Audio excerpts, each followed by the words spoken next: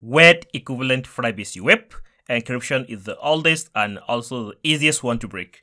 Web encryption uses an algorithm called reverse cipher 4 where each packet is encrypted at the access point and then sent out into the air. Now, once the client receives it, the client will be able to decrypt the packet and read the information inside of it since the client has the key. Basically, the access point encrypt the packet and send it, and then the client receive and decrypt it. In the same way, when the client itself send the packet, the client encrypt it and then send it out, and the AP receive it and decrypt it, decrypt it with a key.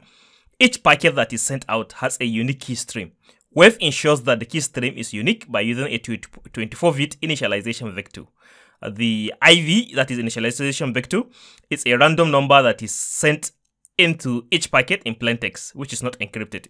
If we read the packet, we'll be able to our main goal when we try to crack uh, WEP is to collect as many IVs as we can because when we have a large number of IVs, we will end up with two packets that use the same IV and AirCrackNG will likely uh, be able to determine the key stream and the WEP key for the target network. Now, uh, WEP is an obsolete technology, so it is no longer used to scale Wi-Fi networks. Now we come to the uh, Wi-Fi protected access, WPA and WPA2. Now in WPA, each packet is encrypted using a unique temporary key. It means that the number of data packet that you collect is irrelevant. Even if we were able to collect a 1 million packet, these packets are not useful because they do not contain any information that can help us to crack the, the WPA key. The WPA, WPA2 is the same. It works with the same method and it can be cracked using the same method.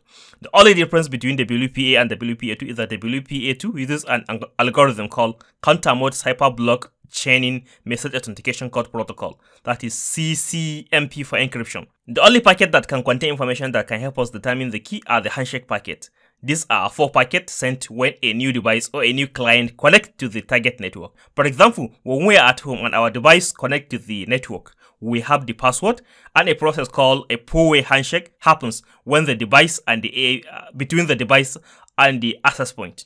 Now in this process, four packet called handshake packet get transferred between the two devices to authenticate the device connection.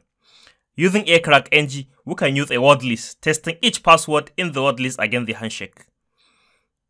To crack the WPA encrypted networks, we need two things. We need to capture the handshake and we need a word list that contains the passwords.